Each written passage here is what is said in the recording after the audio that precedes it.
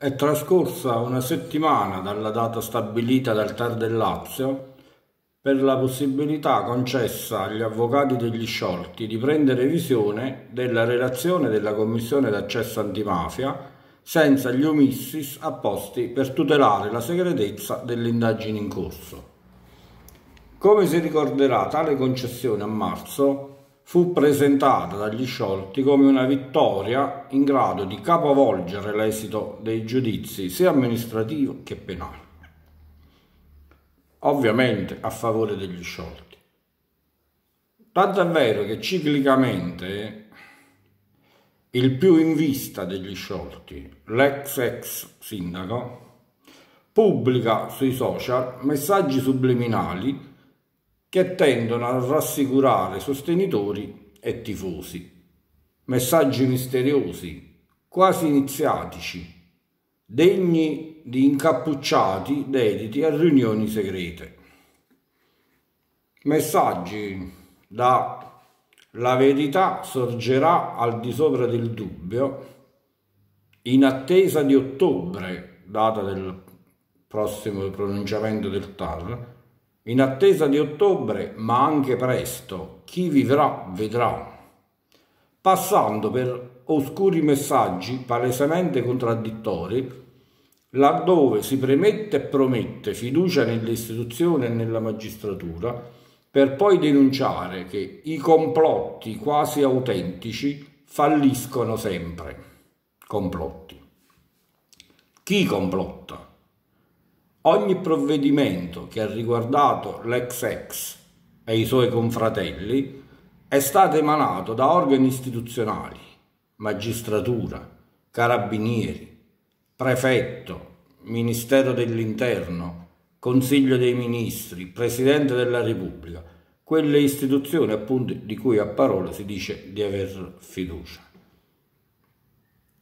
Quindi chi complotta contro amministratori definiti dalla relazione antimafia come soggetti che hanno posto in essere una mala gestio che si rende utile, parole precise, a garantire un distorto utilizzo delle norme e delle procedure a beneficio di un accaparramento monopolistico e molto redditizio di forniture e di servizi da parte di soggetti quasi sempre espressioni di consorterie criminali.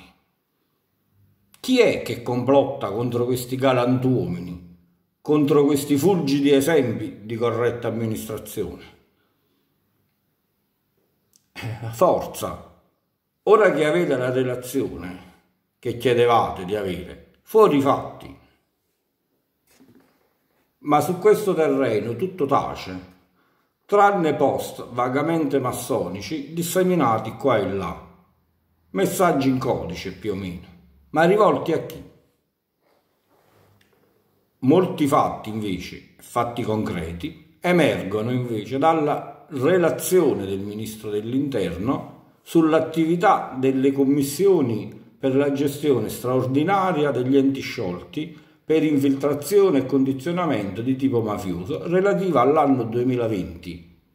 Una relazione resa nota qualche settimana fa e che contiene elementi molto interessanti. Elementi e spunti di riflessione che riguardano il nostro paese, soprattutto se si considerano le chiacchiere fatte sui mancati arresti, sull'attesa delle sentenze, sull'assenza di pronunciamenti della magistratura giudicante. Questa relazione fa riferimento proprio a pronunciamenti delle magistrature amministrative e penali, cioè TAR, Consiglio di Stato, Corti d'Appello, eccetera. Quindi partiamo dai necessari chiarimenti sul perché è necessario sciogliere un'amministrazione pubblica infiltrata dalla mafia. Si legge nella relazione lo scioglimento dell'organo elettivo si connota quale misura di carattere straordinario per fronteggiare un'emergenza straordinaria. Di conseguenza sono giustificati ampi margini nella potestà di apprezzamento dell'amministrazione nel valutare gli elementi su collegamenti diretti o indiretti, non traducibili in singoli addebiti personali, ma tali da rendere plausibile il condizionamento degli amministratori, pur quando il valore indiziario dei dati non sia sufficiente per l'avvio dell'azione penale, essendo asse portante della valutazione di scioglimento, da un lato, la accertata o notoria diffusione sul territorio della criminalità organizzata e, dall'altro, le precarie condizioni di funzionalità dell'ente in conseguenza del condizionamento criminale. Ora caliamo questi concetti nella realtà pratolana per come è emersa dall'attività ispettiva della Commissione d'accesso antimafia. Per quanto riguarda la notoria diffusione sul territorio della criminalità organizzata, si legge nella comunicazione, sempre questa, del ministro dell'interno Luciana Lamorgese, comunicazione allegata alla relazione del prefetto. Dice la ministra. Gli amministratori hanno potuto intrecciare rapporti con esponenti della criminalità appartenenti a cosche diverse, riconducibili al cosiddetto Missis e ad altri clan storicamente presenti sul territorio campano. Quindi questo significa che insomma, era notorio che ci fosse la Camurra, come dice insomma, quella relazione che fa riferimento a sentenze per altri enti sciolti per Camurra. Il principio che svincola lo scioglimento da arresti e condanne è spiegato bene nella relazione 2020 sugli enti sciolti. Quindi mm, il fatto che non ci siano arresti e condanne non significa che l'ente non può essere sciolto. Questo per chiarirlo e vediamo come viene chiarito. Pertanto, dice sempre la relazione, in tale ambito di apprezzamento, rispetto alla pur riscontrata commissione di atti illegittimi, legittimo, è necessario un quid pluris, cioè ulteriori elementi, consistenti in una condotta attiva o omissiva condizionata dalla criminalità anche in quanto subita, riscontrata dall'amministrazione competente, cioè in questo caso il Ministero degli Interni, con discrezionalità ampia, ma non disancorata da situazioni di fatto suffragate da obiettive risultanze che rendano attendibili le ipotesi di collusione, così da rendere pregiudizievole per i legittimi interessi della comunità locale il permanere alla sua guida degli organi elettivi. Dice in pratica il ministro, l'ingerenza puoi averla anche subita, ma lo scioglimento, reato o no, è legato a fatti precisi. Non solo, il provvedimento di scioglimento dell'amministrazione si rende necessario per tutelare la comunità da ulteriori danni derivanti dalle ingerenze mafiose e dalle conseguenti decisioni condizionati da tali ingerenze. Tornando a Pratola, si sprecherebbero gli esempi di danni ai cittadini prodotti dagli amministratori sciolti per favorire soggetti legati ai clan camorristici e ai loro prestanome. Quanto al pregiudizio per i legittimi interessi della comunità locale, è la relazione del prefetto Speina a chiarirci le, le idee, laddove evidenzia che l'assoggettamento a interessi illeciti investe non soltanto il vertice dell'amministrazione, ma anche alcuni esponenti del Consiglio e della Giunta. Dice ancora più esplicitamente il prefetto che vi è stata una commistione tra attività politica e gestionale che è risultata funzionale al conseguimento di obiettivi distanti dall'interesse pubblico e volta a favorire i soliti noti. Chi siano i soliti noti lo sanno anche le pietre, a Pratola e non solo a Pratola. E veniamo alla questione dell'incandidabilità, altro tema oggetto di fandonie da parte degli sciolti. C'è una sentenza del Tribunale di Avellino che vieta agli sciolti di candidarsi per due turni elettorali e questa sentenza varrà finché non sarà corretta da una sentenza di appello o di terzo grado. Se, se questo avverrà, per adesso c'è una sentenza che li condanna e non si possono candidare. Ciò significa che se si andrà al voto tra un anno, ad esempio, in assenza di una sentenza d'appello favorevole agli sciolti, essi non potranno candidarsi. Ma la relazione sugli enti sciolti del Ministro dedica molto spazio proprio al tema dell'incandidabilità per amministratori responsabili dello scioglimento di un consiglio comunale per mafia. Leggiamo. La dichiarazione di incandidabilità degli amministratori che hanno dato causa allo scioglimento dei consigli comunali e provinciali non impone la verifica della commissione di un illecito penale o dell'esistenza dei presupposti per l'applicazione di una misura di prevenzione, cioè l'arresto.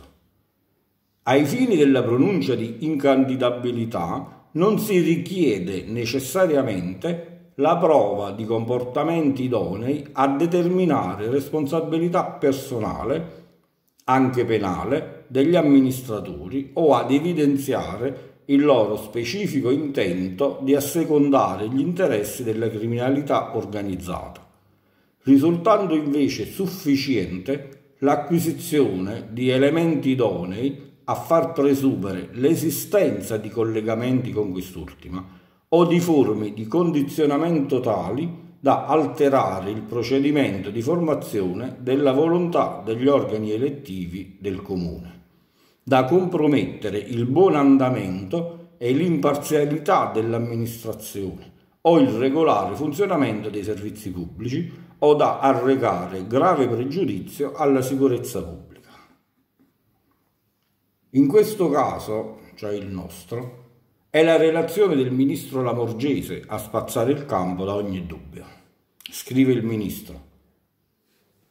Dalla relazione del prefetto si rileva l'esistenza di una complessa rete di amicizie, frequentazioni e cointeressenze tra amministratori comunali, dipendenti dell'ente locale e soggetti appartenenti o contigui a clan camorristici ampiamente documentate dai social, così come questi ultimi, cioè gli esponenti della Camorra, hanno beneficiato di favor nell'acquisizione di pubbliche commesse, di affidamenti per il patrimonio comunale o nell'esercizio di attività commerciali. E ancora, sempre il Ministro, i lavori della Commissione d'accesso hanno preso in esame la cornice criminale è il locale contesto ambientale ove si colloca l'ente, con particolare riguardo ai rapporti tra gli amministratori ed esponenti delle consorterie camorristiche. Gli esiti hanno evidenziato come l'uso distorto della cosa pubblica si sia concretizzato nel tempo in favore di soggetti o imprese collegati direttamente o indirettamente ad ambiente malavitoso. La relazione del ministro sugli enti sciolti, quella pubblicata qualche settimana fa, consente di fare chiarezza anche sulle assurdità provenienti dagli sciolti, sull'indimostrabilità della loro intenzione di favorire i clan perché alcune situazioni risalgono a periodi antecedenti alla loro elezione. La relazione infatti sottolinea che non assume rilevanza il fatto che le disfunzioni dell'apparato burocratico amministrativo siano pregresse, essendo sufficiente che l'amministrazione in carica nulla abbia fatto in concreto per rimuovere l'inefficienza, con la conseguenza che anche un comportamento meramente omissivo, cioè non fare nulla di concreto, o comunque di tolleranza o di dissociazione meramente nominale o dichiarata, ma non effettivamente posta in essere, costituisce in effetti la perpetuazione della situazione di disfunzione e di illegalità preesistente, che sul piano della tutela è oggetto di disvalore quanto la condotta commissiva che l'ha originata. E questo è molto esplicito. Sono fatti che smontano le chiacchiere a vuoto degli sciolti. Con specifico riguardo al tema della colpa, diciamo così, prosegue la relazione del 2020, quindi diciamo, è una cosa che ha molto a che fare con quello che hanno detto gli sciolti, dove, dove, sta dimostrata la nostra colpa. No? Quindi, riguardo, riguardo, al tema della colpa, è stato osservato, parliamo sempre di, oh, della magistratura, è stato osservato che il principio sopra enunciato possa essere declinato esigendosi dall'amministratore che intenda cimentarsi ed operare in ambiti territoriali così diffusamente interessati da fenomeni malavitosi, un grado di diligenza e di capacità professionale capaci non solo di fronteggiare le già complesse vicende della cosa pubblica, ma di porsi e di manifestarsi nell'interesse della collettività come credibile componente di un'istituzione presente nel territorio a presidio, innanzitutto, della legalità del proprio agire, a cominciare dalla percepibile presa di distanza dai poteri malavitosi. Ciò che non può essere sottovalutato è il potere e il dovere del sindaco in particolare di esercitare il controllo esterno di legalità e correttezza dell'agire amministrativo. Non c'è passaggio delle relazioni di ministro e prefetto che riguardano Prato la Serra ovviamente, che non sottolinei come i fratelli sindaci omissis tutto siano stato, forché diligenti e capaci di fronteggiare i fenomeni malavitosi. Altro che presa di distanza. Dato che nella relazione si parla finanche, riguardante Pratola ovviamente, di reati come l'usura, tutti consumati nel nostro territorio. Altro che credibile componente di un'istituzione presente nel territorio a presidio innanzitutto della legalità. Credibili, quelli, gli sciolti. Scrive il prefetto Spena con ancora più precisione e chiarezza. Leggiamo. L'analisi globale unitaria delle criticità emerse ha dimostrato la sussistenza di un effettivo condizionamento dell'amministrazione comunale da parte di soggetti controindicati, cioè esponenti di clan camorristici. Restiamo dunque in attesa che gli sciolti ci illuminino sul ribaltamento dei fatti che doveva essere impresso dalla conoscenza senza omissis della relazione dell'antimafia. Ma il loro silenzio è più eloquente di una sentenza.